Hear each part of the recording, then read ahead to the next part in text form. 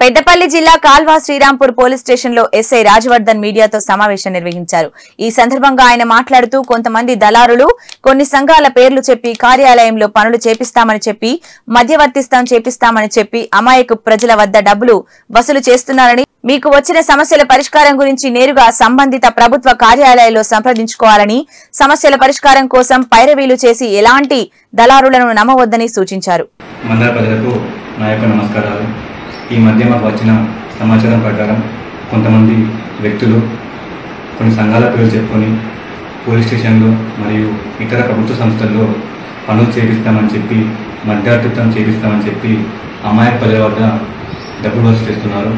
కావున ప్రజలందరూ అప్రమత్తంగా ఉండేవాళ్ళను అలాగే ఇటువంటి వ్యక్తులు మీ వద్ద డబ్బులు వసూలు చేసిన మధ్యార్థిత్వం చేపిస్తామని చెప్పి మిమ్మల్ని మోసం చేసిన పోలీస్ స్టేషన్లో సమాచారం ఇవ్వగలరు.